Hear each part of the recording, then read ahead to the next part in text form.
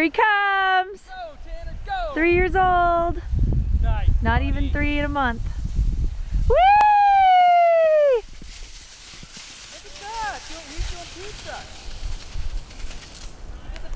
Good job, Tanner.